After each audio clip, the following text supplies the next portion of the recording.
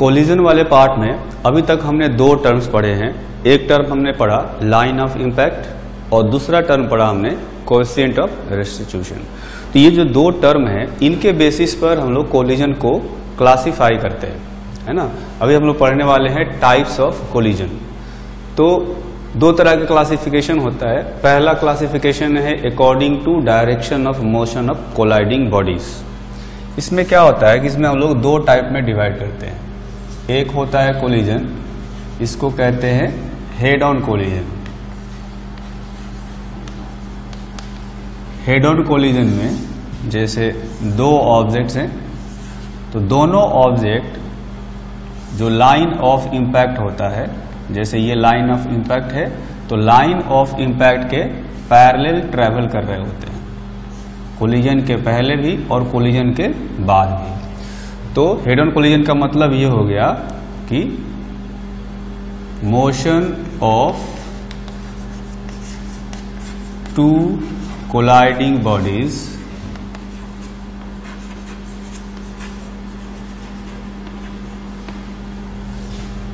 is parallel to line of impact, है ना? मतलब लाइन ऑफ़ इम्पैक्ट के पैरेलल चल रहे होंगे, कोलिजन होगा तो उसको हेड ऑन कोलिजन बोलेंगे। दूसरा टाइप है, उसको कहा जाता है ओब्लिक कोलिजन ओब्लिक कोलिजन में क्या होता है कि दोनों में से कम से कम एक ऑब्जेक्ट का जो मोशन होगा, वो लाइन ऑफ़ इम्पैक्ट के पैरेलल नहीं होगा। तो उस केस में हम लोग जो है कोलिजन को ओबली कोलिजन कहते हैं। जैसे हो सकता है कि ये वाला इधर जा रहा हो यू वन वेलोसिटी से। ये वाला इधर जा रहा हो यू टू वेलोसिटी से, है ना? लेकिन टकराएँगे यहाँ पर यहाँ पर इनका कांटेक्ट आएगा, ठीक है? तो इसमें ये जो है, ये लाइन ऑफ़ इम्पैक्ट है। तो इसको डिफाइन किया जाता है at least one of one of the colliding bodies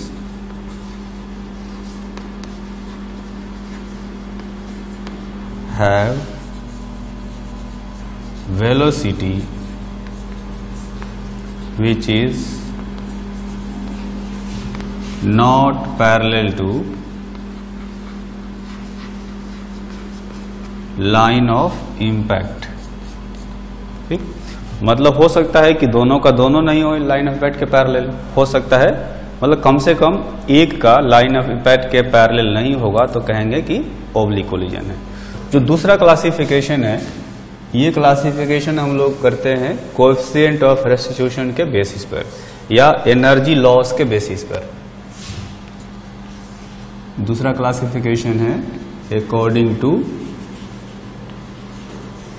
loss of kinetic energy ठीक?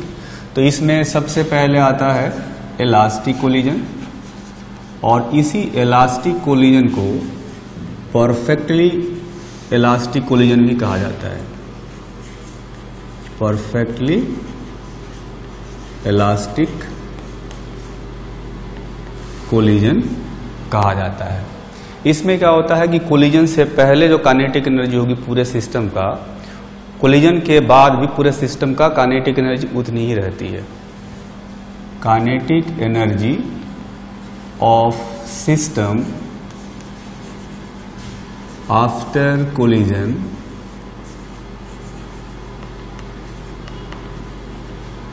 is equal to kinetic energy of system before collision before collision तो क्या इसका मतलब ये कहा जा सकता है कि इलास्टिक कोलिजन में काइनेटिक एनर्जी कंजर्व रहती है बिल्कुल नहीं कहा जा सकता।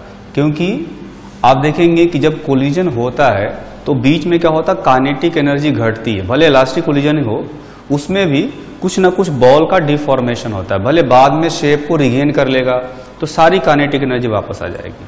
है ना?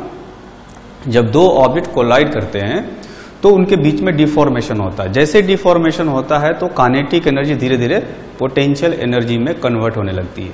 है ना? और फिर एक बार मैक्सिमम डिफॉर्मेशन हो जाता है, उसके बाद शेप को रिगेन करना शुरू करता है। तो इलास्टिक कोलिजन में क्या होता है कि कंप्लीटली शेप को रिगेन कर लेता है, और इसलिए जो भी पोटेंशियल एनर्जी वहाँ पर आई थी, वो सारे वापस कानेटिक एनर्जी के फॉर्म में आ जाती है।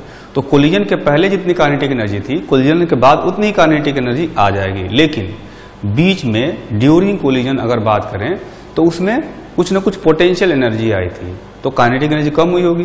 तो कानेटिक एनर्जी अगर बीच में कम हुई है तो कंजर्व नहीं रही ना। तो इसीलिए कहते हैं कि जो कानेटिक एनर्जी है, इसमें कंजर्व नहीं रहती, लेकिन कोलिजन के पहले और कोलिजन के बाद वो बराबर ज़रूर रहती है। इस इलास्टिक कोलिजन में कोसेंट ऑफ़ रेस्टिट्यूशन का जो वैल्यू होता है, वो वन माना जाता है। ठीक? अब आते हैं दूसरा वाला कोलिजन। तो इलास्टिक कोलिजन का मतलब एक तरह से ये भी आप समझ सकते हैं कि जैसे कोई भी ऐसा बॉल लेंगे जिनका कोलिजन हो तो वो शेप को कंप्लीटली रिगेन कर सकते हैं। अगर इलास्टिक मटेरियल के बने होंगे परफेक्टली इलास्टिक मटेरियल के बने होंगे तो उनके बीच का जो कोलिजन होगा, वो भी इलास्टिक होगा। दूसरा होता है, इसको कहा जाता है inelastic inelastic collision अब इसमें क्या होता है? थोड़ी सी कानेटिक एनर्जी लॉस हो जाती है। Kinetic energy of system after collision is smaller than the kinetic energy of system before collision मतलब इस केस में इस टाइप के कोलिजन में कानेटिक एनर्जी का लॉस हो जाता है। यानी ऐसा कहा जा सकता है कि जब बॉडी डिफॉर्म होते हैं कोलिजन के दौरान तो डिफॉर्म होने के बाद शेप रिगेन करते हैं, लेकिन कंप्लीटली रिगेन नहीं कर पाते। इलास्टिक में कंप्लीटली रिगेन कर लेते हैं और इन इलास्टिक में जो है, वो कंप्लीटली रिगेन नहीं कर पाते। थोड़ा बहुत रिगेन करते होंगे तो थोड़ी पोटेंशियल एनर्जी काइनेटिक एनर्जी में आएगी, लेकिन कंप्लीटली जो है पोटेंशियल एनर्जी काइनेटिक एनर्जी में कन्वर्ट नहीं हो पाती है। और इसलिए कुछ न कुछ काइनेटिक एनर्जी का लॉस हो जाता है। जैसे आप बात करें कि एक लोहे का बॉल है, और उसे हमने दीवार पर मार दिया। दीवार पर मारा था क्या, दीवार में गड्ढा बन जाता है है ना? जब दीवार में गड्ढा बन जाता है तो इसका मतलब है कि दो कोलाइडिंग बढ़ी थी, एक दीवार और एक लोहे का बॉल। तो दीवार में डिफॉर्मेशन हो गया। है ना? तो उसके अंदर कुछ पोटेंशियल एनर्जी रह गई। तो जब बॉल वापस आएगा तो उतनी कानेटिक एनर्जी के साथ वापस नहीं आएगा जितनी एनर्जी के साथ उसको वो गया था। ठीक है? तो उस केस में कानेटिक एनर्जी का कुछ लॉस हो जाता है। और उस टाइप कोलिजन को हम लोग कहते हैं इन एलास्टिक कोलिजन इसमें ई e का जो वैल्यू होता है, यानी क्वेश्चन ऑफ़ रेस्टिट्यूशन का जो वैल्यू होता है, वो वन से कम होता है। ई e का वैल्यू कभी भी जो है, वो निगेटिव नहीं होता ज़ीरो और वन के बीच में रहता है। तीसरे टाइप का जो कोलिजन है, इसको कहा जाता है परफेक्टली इन एलास्टिक मतलब कि जैसा कि नाम है, ये भी एक तरह से इन एलास्टिक कोलिजन ही है, लेकिन ये परफेक्टली इन एलास्टिक कोलिजन है। अब इसमें क्या होगा कि इसमें कानेटिक एनर्जी का मैक्सिमम लॉस होता है। मतलब कि एक बार बॉडी डिफॉर्म हुआ तो थोड़ा भी शेप को रिगेन नहीं कर पाया। यानी थोड़ी भी पोटेंशियल एनर्जी वापस कानेटिक एनर्जी में कन्वर्ट नहीं हुई। तो क्या होगा? उसमें सबसे ज़्यादा कानेटिक एनर्जी का लॉस होगा। है ना? In this type of collision maximum loss of kinetic energy occurs अब देखेंगे कि हमने देखा कि जब मैक्सिमम डिफॉर्मेशन होता है तो दोनों ऑब्जेक्ट कॉमन वेलोसिटी से चलते हैं। जैसे स्प्रिंग वाला केस बनाकर मैंने बताया था कि जब मैक्सिमम डिफॉर्मेशन होता है स्प्रिंग में मैक्सिमम डिफॉर्मेशन होता है, दोनों की वेलोसिटी बराबर आती है और साथ में चलते हैं। तो इसमें क्या होता है? उसी मैक्सिमम डिफॉर्मेशन के साथ ही चलना होता है। क्योंकि थोड़ी भी पोटेंशियल एनर्जी को काइनेटिक एनर्जी में वापस कन्वर्ट होना नहीं है।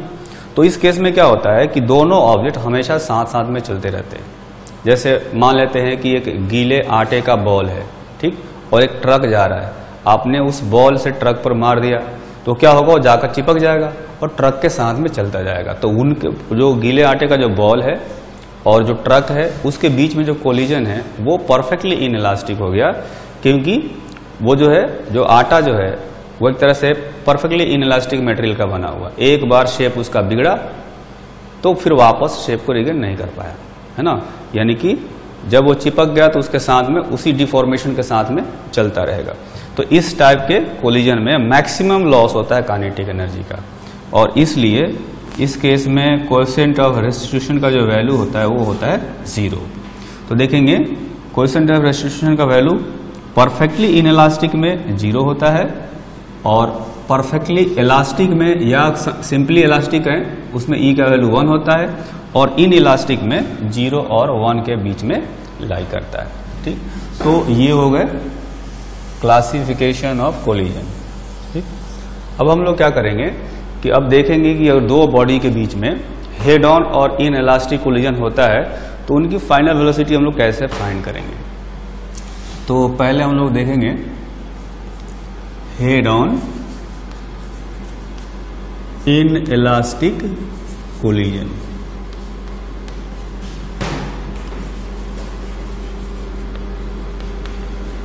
तो इसमें हम लोग मान लेते हैं कि दो बॉल है। एक का मास है m1 दूसरे का मास है m2 है ना? ये चल रहा है u1 से और ये चल रहा है u2 से, ठीक? उसके बाद क्या हुआ कि एक बार दोनों के बीच में मैक्सिमम डिफॉर्मेशन होगा। तो ये वाला जो इंस्टेंट मैं दिखा रहा हूँ, ये मैक्सिमम डिफॉर्मेशन वाला इंस्टेंट है, यानी दोनों की वेलोसिटी जो है वो बराबर है। उसके बाद कोलिजन के बाद क्या होगा, ये दोनों फिर से सेपरेट हो जाएँगे। तो ये हो गया m1 जिसकी वेलोसिटी हो गई v1 कोलिजन के बाद। ये हो गया m2 इसकी वेलोसिटी हो गई v2 कोलिजन के बाद। तो ये जो सिचुएशन मैंने दिखाया है, ये है बिफोर कोलिजन ये हो गया ड्यूरिंग कोलिजन और ये हो गया आफ्टर कोलिजन है ना? तो जैसा कि हम लोग जानते हैं कि अगर इन दोनों बॉडीज को सिस्टम मान लिया जाए तो कोई भी एक्सटर्नल फोर्स नहीं है हॉरिजेंटल डायरेक्शन में। है ना? अगर हॉर्जेंटल फोर्स नहीं है तो हॉर्जेंटल डायरेक्शन में सिस्टम का मोमेंटम कंजर्व रहना चाहिए। तो हम लोग क्या करेंगे कि इसमें मोमेंटम कंजर्वेशन लगाएँगे। बाई कंजर्वेशन ऑफ़ मोमेंटम है ना? कंजर्वेशन ऑफ़ मोमेंटम मैं इसलिए लगा रहा हूँ। आप जैसे देखेंगे, एक ये m1 है और ये एक m2 है। जब कोलिजन होगा तो ये एक दूसरे पर एक नॉर्मल फोर्स लगाएँगे। ठीक है? तो अगर मैं एक बॉल को सिस्टम लूँ तो ये नॉर्मल एक्सटर्नल फोर्स कहलाएगा। और इसलिए क्योंकि इस पर एक्सटर्नल फोर्स लग रहा है एन इसलिए इसका मोमेंटम चेंज हो जाएगा। इसलिए इसकी वेलोसिटी u1 थी, बाद में v1 हो गई। उसी तरह से अगर मैं इसको सिस्टम लेता हूँ तो इस पर भी ये नॉर्मल एक्सटर्नल फोर्स कहलाएगा, क्योंकि ये लगा रहा है उसके ऊपर। तो इस पर एक्सटर्नल फोर्स लग रहा है, इसलिए इसका भी मोमेंटम चेंज होना चाहिए। तो इसका वेलोसिटी u2 से v2 हो गया तो मोमेंटम चेंज हो गया। लेकिन अगर इन दोनों को मिला करके मैं सिस्टम मानूं तो ये नॉर्मल फोर्स कैंसिल हो गया। या यूँ कहें कि ये इंटरनल फोर्स है तो वैसे भी गायब हो जाएगा ये। तो इंटरनल फोर्स है एक्सटर्नल फोर्स तो है ही नहीं। और इसलिए पूरे सिस्टम का मोमेंटम जो है वो कंजर्व रहेगा। तो हम लोग लगाएँगे by conservation of momentum of system of two bodies दोनों जो कोलाइडिंग बॉडी है, उनका मोमेंटम कंजर्वेशन लगाएँगे। तो देखेंगे, इसमें होता है P initial is equal to P final मतलब कोलिजन से पहले अगर इनका मोमेंटम लिखें तो आएगा m1 u1 plus m2 u2 मैं इसमें वेक्टर नहीं लगा रहा हूँ, है ना? क्योंकि वन डायमेंशनल मोशन देख रहे हैं, बस प्लस प्लस लिख रहा हूँ। लेकिन आपको समझना है कि ये u1 u2 जो है, वो वेक्टर क्वांटिटी है। हो सकता है कोई उल्टा चल रहा हो तो वहाँ पर माइनस साइन लगाना पड़ेगा। तो अभी हम लोग बिना वेक्टर के लिख रहे हैं इसको, बाद में वेक्टर भी लगा दे, लगा सकते हैं या जस्ट वेक्टर जैसा ट्रीट करेंगे, भले डायर इस पर वेक्टर साइन लगाया हो या नहीं लगाया हो। तो ये हो जाएगा कोलिजन के बाद वाला मोमेंटम m1 v1 इसका और एम टू वी टू इसका है ना? हालाँकि जो मोमेंटम कंजर्वेशन है, हर इंस्टेंट पर, यहाँ भी मोमेंटम ये भी मतलब m one v plus m two v भी इन दोनों के बराबर होगा। मोमेंटम कंजर्वेशन किसी भी इंस्टेंट पर लगा सकते हैं। तो एक इक्वेशन तो ये आ गया। एक कोएफिशिएंट ऑफ़ रेस्टिट्यूशन का फॉर्मूला हमने पढ़ा कि v two minus v one divided by u two minus u one is equal to minus e ये दो इक्वेशन है और अननोन भी अपने पास दो ही है v1 और v2 तो इन दोनों को सोल्व करके हम लोग जो है, वो v1 v2 की वैल्यू फाइंड कर सकते हैं। तो मैं इनका डायरेक्ट आंसर बताता हूँ। आप इसको सोल्व करके ट्राई कर सकते ये आएगा। तो जो v1 है v1 की वैल्यू आएगी m1 one minus e m two into u one divided by m one plus m two plus m two one plus e u two divided by m one plus m two तो पहला वाला जो ball है, उसकी final velocity यानी collision के बाद ये आ जाएगा। अब एक फॉर्मूला ये याद है तो दूसरे वाले की वेलोसिटी भी निकाल सकते हैं। V2 जो है, वो इसी फॉर्मूले से आ जाएगा। करना क्या होगा? M1 m2 को इंटरचेंज कर देंगे और u1 u2 को इंटरचेंज कर देंगे। तो m1 के जगह पर रखेंगे m2 और m2 के जगह पर m1 ठीक है? तो यहाँ तो दोनों m1 m2 है तो ऐसे रख सकते हैं। और u1 के जगह पर आ जाएगा u2 प्लस m2 के जगह पर m1 1 प्लस ई u2 के जगह पर u1 by m one plus m two ठीक? तो ये दूसरे वाले बॉल की वेलोसिटी आ गई। तो अगर एक ये फॉर्मूला याद है तो दूसरा अपने आप याद है। और तीसरा जो होता है, चूँकि ये इन इलास्टिक कोलिजन के लिए हमने लिया है तो लॉस इन कानेटिक एनर्जी भी निकाल सकते हैं। लॉस इन कानेटिक एनर्जी यानी कि डेल्टा के डेल्टा के कैसे निकालेंगे? Initial kinetic energy minus final kinetic energy मतलब इनकी दोनों कानेटिक एनर्जी ऐड कर लेंगे शुरू में। जैसे आएगा half m one u one square plus half m two u two square ये इनिशियल कानेटिक एनर्जी हो गया। और फाइनल कानेटिक एनर्जी लिखेंगे यहाँ पर मतलब कोलिजन के बाद वाला। आएगा half m one v one square plus half m two v two square ठीक? वी वन वी टू की वैल्यू यहाँ से रख के जब इसको सिंप्लीफाई करेंगे तो जो अपना रिज़ल्ट आएगा, ये आएगा half m one into m two by m one plus m two into u one minus u two का whole square into one minus e square तो ये हो गया लॉस इन कानेटिक एनर्जी ठीक? तो कुल मिलाकर कोलिजन में ये तीन फॉर्मूले याद रखने हैं। अगर कोई चाहे तो हर बार मोमेंटम कंजर्वेशन और कोएफिशिएंट ऑफ़ रेस्टिट्यूशन का फॉर्मूला लगा ले। फॉर्मूला लगा करके सोल्व करके वेलोसिटी की वैल्यू निकाल सकते हैं। अदरवाइज़ कोई फॉर्मूला बार बार नहीं लगाना चाहता तो ये फॉर्मूला याद कर लेगा, है ना? तो ये एक फॉर्मूला याद रहेगा तो ये अपने आप याद है और एक फॉर्मूला ये याद करना है। तो हम लोग लॉस इन कानेटिक एनर्जी की वैल्यू भी फाइंड कर सकते हैं। तो अभी हमने पढ़ा head on inelastic collision के बारे में। अब हम लोग पढ़ेंगे हेड ऑन इलास्टिक कोलिजन के बारे में। ठीक है? तो देखेंगे कि ये जो कोलिजन हमने अभी पढ़ा था यहाँ पर, ये हेड ऑन इन इलास्टिक था तो इसमें ई e की जो वैल्यू है, वो ज़ीरो से वन के बीच में कुछ भी रखा जा सकता है। ठीक है? अब हम लोग क्या करेंगे कि ये जो फॉर्मूला हमने डिराइव किया है इसी फॉर्मूले को डायरेक्ट वहाँ पर यूज़ कर लेंगे। बस इलास्टिक कोलिजन है तो ई e की जो वैल्यू है इसमें, वो हम लोग वन इसमें रख देंगे। तो जो इलास्टिक कोलिजन है, इसमें हम लोग ई e की जो वैल्यू है, वो वन रखेंगे।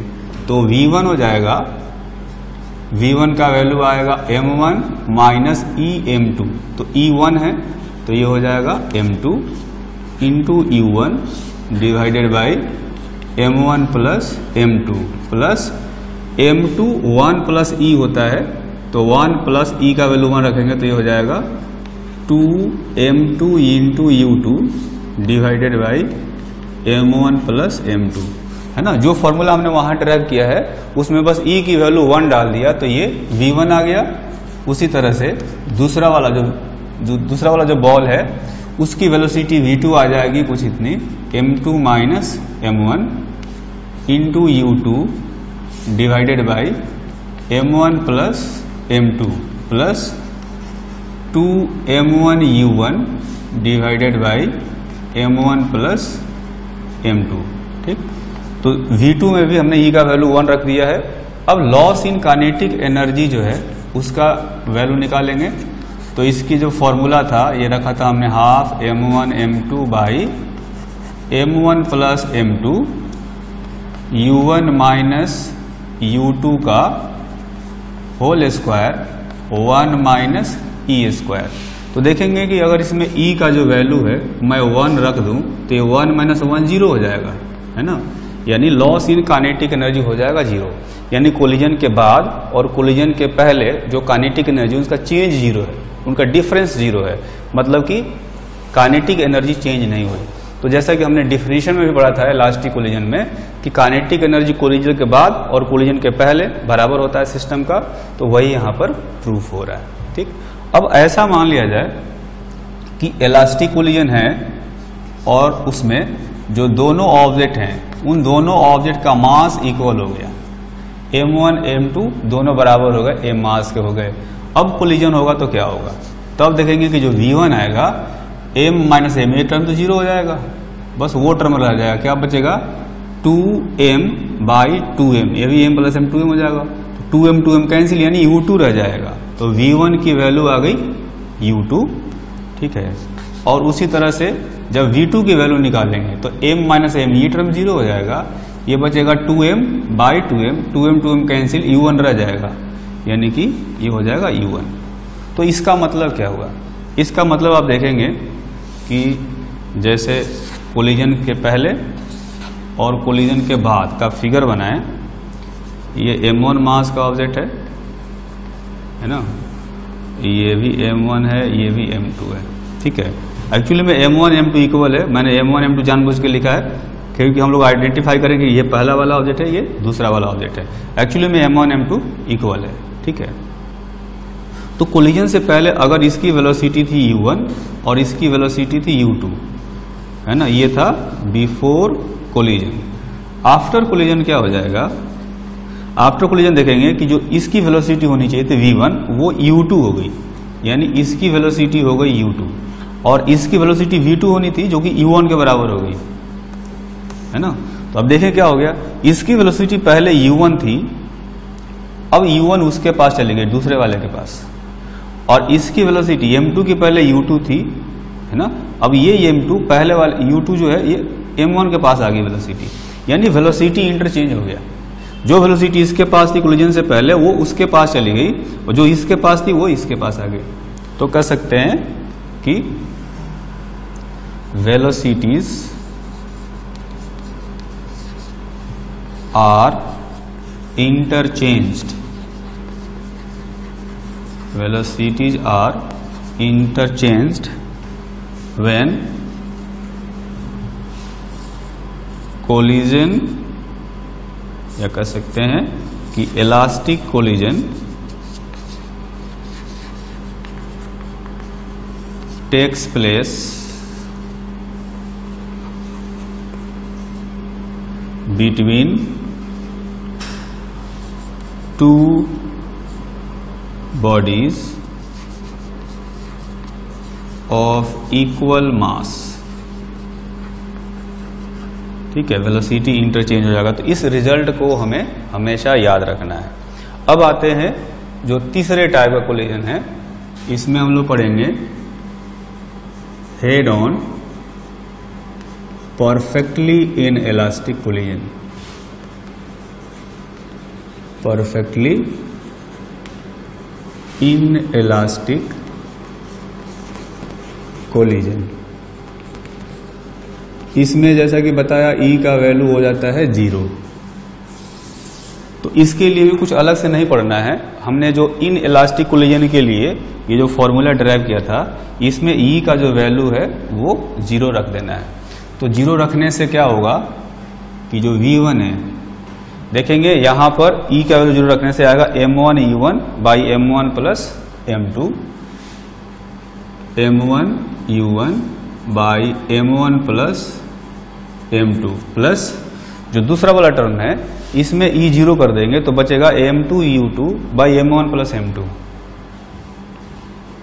m two u two divided by m one plus m two उसी तरह से अगर वी टू निकालें वी टू की वैल्यू इसमें से निकालेंगे तो ये ई e ज़ीरो रखेंगे तो आएगा m two u two by m one plus m two m two u two divided by m one plus m two plus जो दूसरा वाला टर्म है, यहाँ पर देखेंगे, इसमें ई e का वैल्यू हम लोग करेंगे ज़ीरो तो यह आएगा m one u one divided by m one plus m two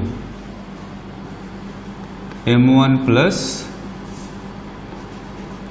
m one u one divided by m one plus m two ये आ गया। अब हम लोग क्या करेंगे कि इस पर एक क्वेश्चन करते हैं। ठीक है? क्वेश्चन में आप देखेंगे कि यहाँ पर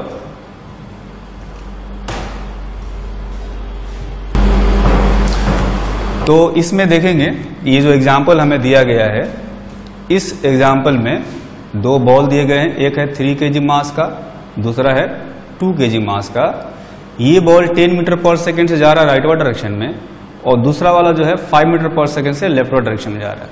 क्वेश्चन में ये कहा गया है कि इफ़ सरफेस इज़ स्मूथ मतलब नीचे वाला जो सरफेस है, ये स्मूथ है and collision is elastic elastic collision है तो ई e का वैल्यू होगा one then find velocities of two balls after collision तो कोलिजन के बाद इनकी वेलोसिटी फाइंड करनी है तो हम लोग क्या करेंगे? ये वाला फॉर्मूला यूज़ करेंगे। तो इसमें v1 की वैल्यू निकालेंगे। सबसे पहले हमें क्या करना होगा? जैसे मैंने बताया कि यहाँ पर u1 u2 भले ही वेक्टर हमने नहीं लगाया है, लेकिन हमें उनको वेक्टर मान करके चलना है। इसलिए हमें उनका डायरेक्शन भी इसमें डालना पड़ेगा। डायरेक्शन कैसे डालेंगे? मान लेते हैं कि ये जो डायरेक्शन है, ये पॉजिटिव है और ये डायरेक्शन निगेटिव है। तो डायरेक्शन के लिए पॉजिटिव निगेटिव साइन इसमें सब्सिट्यूट करेंगे, ठीक? तो अगर देखा जाए तो अगर मैं इसको ऑब्जेक्ट वन मान लेता हूँ, इसको ऑब्जेक्ट टू मान लेता हूँ तो u1 जो होगा, यानी इसकी जो वेलोसिटी होगी, वो हम लोग रखेंगे प्लस टेन इसकी जो वेलोसिटी होगी U2 उसको लिखेंगे माइनस फाइव एम वन यानी कि इसका मास रखेंगे थ्री के जी और इसका मास रखेंगे टू के जी ठीक है? ये वैल्यूज़ हम लोग इस फॉर्मूले में सब्सिट्यूट करेंगे।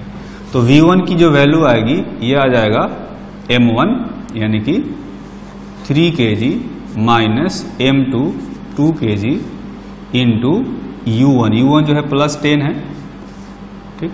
Divided by m one plus m two plus यहाँ पर देखेंगे two m two u two है by m one plus m two तो टू एम टू का मतलब टू यू टू की value minus five divided by m one plus m two ये हो गया।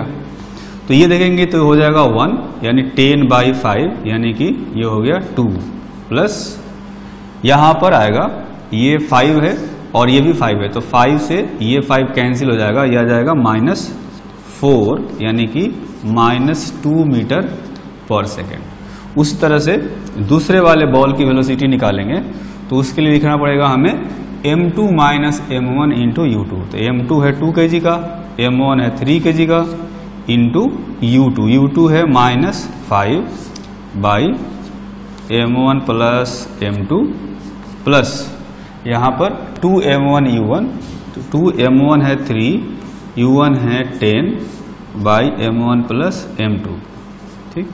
तो इसको जब हम लोग सोल्व करेंगे तो ये जो टर्म है, ये आ जाएगा माइनस वन और ये माइनस है तो minus minus plus five by five यानी ये हो जाएगा वन और फिर प्लस ये फाइव है तो इस फाइव से ये टेन कैंसिल हो जाएगा टू बार में तो हो जाएगा, ये हो जाएगा ट्वेल्व यानी कि आ गया थर्टीन मीटर पर सेकेंड है ना? तो इस तरह से देख सकते हैं कि ये जो फॉर्मूला है, ये डायरेक्शन भी बताता है और मैग्नीट्यूड भी बताता है। माइनस टू का मतलब क्या हुआ? कि ये वाला जो बॉल है कोलिजन के बाद ये इधर चल रहा होगा लेफ़्ट डायरेक्शन में चल रहा होगा टू मीटर पर सेकेंड से। और ये वाला जो बॉल है टू के वाला, इसकी वेलोसिटी प्लस थर्टीन आई है तो ये इधर चल रहा होगा थर्टीन मीटर पर सेकेंड से, है ना? तो इस फॉर्मूले में जब भी हम लोग वेलोसिटी को पॉजिटिव नेगेटिव प्रॉपर साइन के साथ में रखेंगे तो आंसर भी प्रॉपर साइन के साथ में आएगा।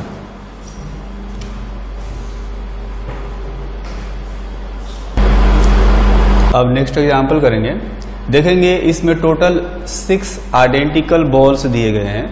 कहा गया है if all the six balls are identical and all the collisions are elastic elastic collision होते हैं सारे। Then find velocities of each ball after all the collisions have taken place मतलब जितने कोलिजन होने हो, वो अगर हो गया हो, उसके बाद फाइनल वेलोसिटी बतानी है सारे बॉल्स की। इसमें देखेंगे कि पहले दो बॉल हैं, इनको वेलोसिटी भी दिया गया है और बाकी चार जो हैं, वो शुरू में रेस्ट पर हैं। तो मैं इनका एक और फिगर बनाता हूँ। है ना?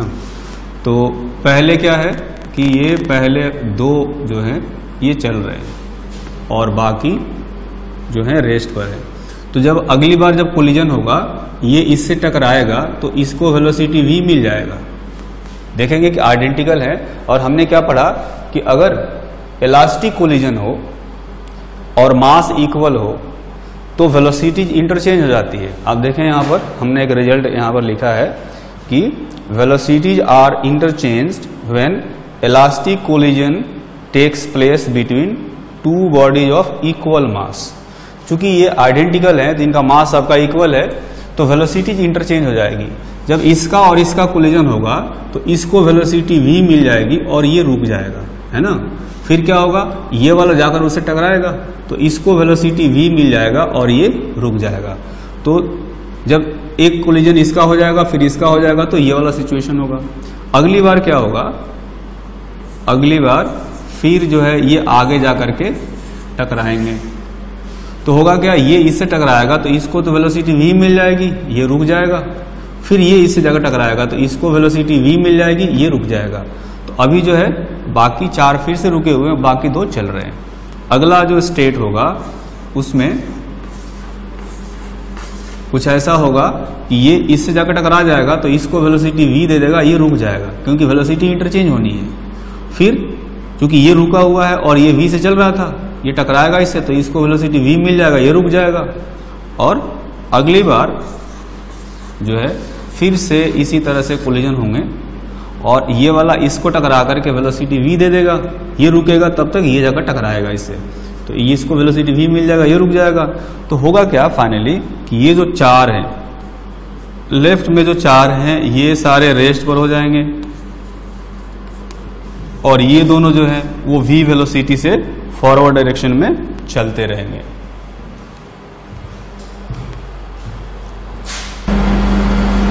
अब जो है कोलिजन से रिलेटेड हम लोग नेक्स्ट एग्ज़ाम्पल करेंगे।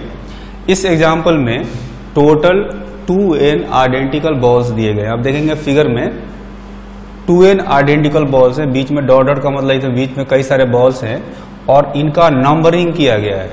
क्योंकि ये सारे जो बॉल है, वो आइडेंटिकल है। यानी इनका मास बराबर होगा। तो ये मैंने वन टू थ्री लिखा, ये इनका मास नहीं है, बल्कि इनका नंबर है। वन टू थ्री फोर ऐसे नंबरिंग जो है टू एन तक नंबरिंग किया हुआ है। इसमें से जितने भी ऑड नंबर वाले बॉल हैं, इनको वेलोसिटी वी दिया गया है राइटवर्ड डायरेक्शन में। ऑड नंबर वाले जो बॉल हैं, इनको राइटवर्ड डायरेक्शन वेलोसिटी दिया गया। और जो इवन नंबर वाले बॉल हैं उनको लेफ़्ट डायरेक्शन में उतनी ही वेलोसिटी दी गई। जैसे टू नंबर वाला है, इसको लेफ़्ट में भी दिया गया। फोर वाले को लेफ़्ट में दिया गया। टू एन माइनस टू वाले को भी लेफ़्ट में दिया गया और टू एन वाले को भी लेफ़्ट में दिया गया। ठीक है? सबका स्पीड बराबर है। डायरेक्शन जो है, वो ऑड वाले का राइट वर्ड डायरेक्शन में और इवन वाले का लेफ़्ट वर्ड डायरेक्शन में। कहा गया है कि if all the collisions are elastic then find total number of collisions which can take place ठीक है? यहाँ पर कहा गया है कि टू एन आइडेंटिकल बॉल्स है, जिनका नंबरिंग किया हुआ है वन से टू एन तक। ठीक? और सारे कोलिजन जो है वो इलास्टिक है। तो पहली बात तो ये हमें ध्यान रखना होगा कि कोलिजन इलास्टिक है बॉल सारे आइडेंटिकल हैं तो वेलोसिटीज इंटरचेंज हो रही होंगी, है ना? तो टोटल कितने कोलिजन्स होंगे वो हमें देखना है। तो होगा क्या? मैं वो वाला फिगर जो है वो एक बार यहाँ बना रहा हूँ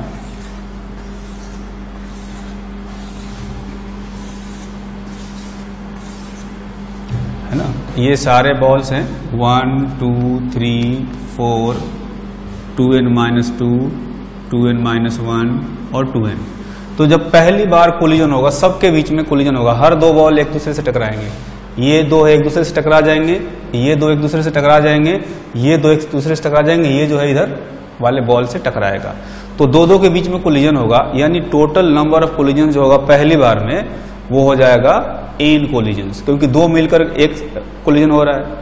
तो टू एन बॉल्स है तो टू एन बाई टू यानी कि एन कोलिजन होंगे, है ना? तो पहली बार में एन कोलिजन होगा। ठीक? अब कोलिजन के बाद क्या होगा? इन सबकी वेलोसिटी इंटरचेंज होगी होगी। यानी इसकी वेलोसिटी ये वाली मिल जाएगी लेफ़्ट डायरेक्शन में, और इसको वेलोसिटी राइट वाले डायरेक्शन में मिल जाएगी। उसी तरह से इसको वेलोसिटी लेफ़्ट में मिलेगी, और इसको वेलोसिटी राइट में मिलेगी। यानी इनकी वेलोसिटी सबकी इंटरचेंज होगी होगी। इसको राइट में मिल जाएगा, क्योंकि इससे टकराया तो इसकी वाली वेलोसिटी इसको मिल जाएगी और इसकी वाली इसको मिल जाएगी। है ना? फिर इसको इधर मिला होगा। सबकी वेलोसिटी इंटरचेंज हो गई। अब क्या होगा? आप देखेंगे कि ये लास्ट के दो बॉल किसी से नहीं टकराएँगे, क्योंकि ये दूर जा रहा है, ये भी दूर जा रहा है। तो ये तो टकराएँगे ही नहीं। तो ये लास्ट के दो बॉल किसी से नहीं टकराएँगे, बाकी दो दो जो है फिर से टकराएँगे। है ना? ये दो टकराएँगे, इधर भी दो टकराएँगे, है ना? तो अब कितने बॉल्स बचे हैं जिनका कोलिजन होगा? अब बॉल्स बचे हैं two n minus two two n balls है जिसमें से दो बाहर निकल गए। तो इतने बचे हुए हैं। तो इनके बीच में अगर दो, हर दो दो बॉल के बीच में एक कोलिजन हो रहा है तो कितना कोलिजन होगा? डिवाइडेड बाई टू यानी कि एन माइनस वन कोलिजन होगा। तो अगली बार एन माइनस वन कोलिजन होगा। और एन माइनस वन कोलिजन होते ही क्या होगा? इनकी वेलोसिटी फिर से इंटरचेंज हो जाएगी। यानी इसकी वेलोसिटी हो जाएगी इधर, इसकी वेलोसिटी हो जाएगी इधर। सबकी वेलोसिटी तरह से कहें तो रिवर्स हो गई इसकी इधर हो जाएगी और इसकी इधर हो जाएगी। ठीक? तो होगा क्या? अगली बार में देखेंगे कि ये और ये। यहाँ से इधर दोनों जो है किसी से नहीं टकरा रहे होंगे। अब ये दोनों निकल गए इधर। है ना? अब ये भी किसी से इधर टकराएगा नहीं। ये भी किसी से टकराएगा नहीं। तो दो और बॉल निकल गए बाकी ये जो बचे होंगे, अब कितने बचे होंगे? अब बचे होंगे two n minus four total चार बॉल बाहर जा चुके हैं। अब इतने बॉल्स बचे हैं तो दो दो फिर से टकराएँगे। तो दो दो फिर से टकराएँगे तो कितने कोलिजन होंगे? टू से डिवाइड कर देंगे, यानी एन माइनस टू कोलिजन होगा अगली बार। तो अगली बार एन माइनस टू कोलिजन होंगे, ठीक? उसी तरह से फिर से अगली बार कोलिजन जब होगा तो इनकी वेलोसिटी भी ऐसे रिवर्स हो जाएगी। ठीक है? तो अगली बार फिर से ये दो किनारे वाले बॉल जो है बाहर निकल जाएँगे। तो मतलब इस बार बचेंगे two n minus six balls बचेंगे। सिक्स निकल गए, तीन उधर, तीन इधर। तो नंबर ऑफ़ कोलिजन होगा बाय टू यानी कि n minus three n minus three तो हर बार क्या होगा कि हर बार दो दो बॉल कम होते जाएँगे और इस तरह से कम होते होते लास्ट में दो बॉल बचेंगे। उनका भी कोलिजन होगा, फिर उल्टे चले जाएँगे। तो इस तरह से plus three plus two plus one है ना? ज़ीरो जब लास्ट के दो वाले भी निकल जाएँगे, फिर कोलिजन ही नहीं होगा। तो टोटल नंबर ऑफ़ कोलिजन आप काउंट करेंगे, सबको ऐड करेंगे। वन से एन तक काउंट करेंगे तो यह आएगा n into n plus one divided by two तो टोटल नंबर ऑफ़ कोलिजन जो है, वो